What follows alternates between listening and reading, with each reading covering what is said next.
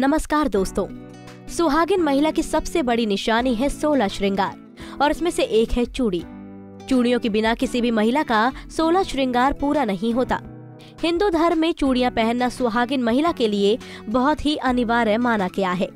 इसका धार्मिक महत्व तो है ही, साथ ही वास्तु शास्त्र में चूड़ियाँ पहनने के कई लाभ बताए गए हैं। तो दोस्तों, आज हम इस वीडियो में आपको बताएँगे चूड़ियाँ पहनने का कारण और इसके फ़ायदे। तो आइए जानते हैं। धार्मिक मान्यता के अनुसार महिलाएँ अपने पति की लंबी उम्र के लिए चूड़ियाँ पहनती हैं, इसलिए चूड़ियाँ सुहाग का प्रतीक मानी जाती है।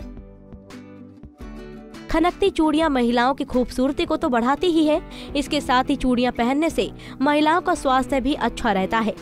माना जाता है कि कांच की चूड़ियों की खनक से वातावरण में मौजूद नकारात्मक ऊर्जा नष्ट होती है और सकारात्मक ऊर्जा का संचार होता है।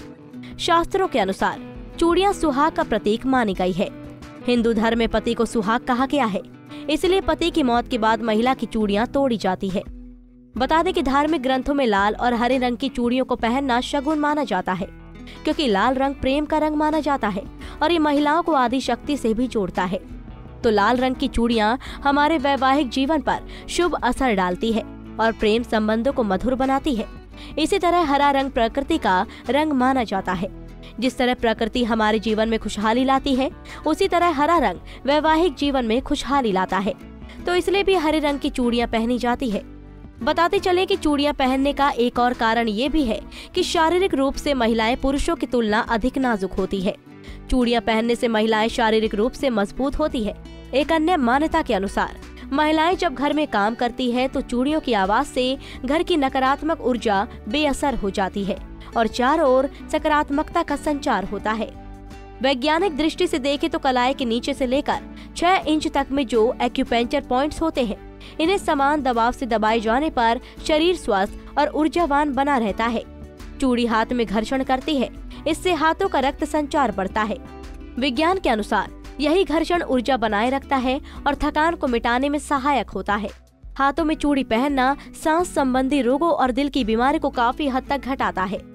चूड़ी पहनने से मानसिक संतुलन बना रहता है।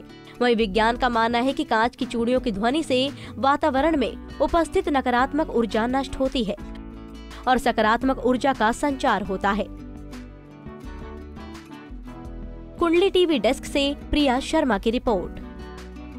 इसी तरह की और भी जानकारी लेने के लिए हमारे चैनल को सब्सक्राइब करें और नई वीडियो की नोटिफिकेशन के लिए बेल आइकॉन दबाएँ। अगर आप ये वीडियो फेसबुक पर देख रहे हैं तो वीडियो को लाइक और शेयर करें।